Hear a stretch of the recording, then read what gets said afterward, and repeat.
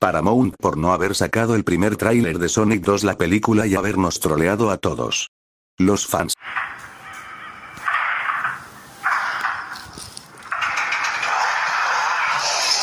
Esto te ganas por habernos desilusionado a todos.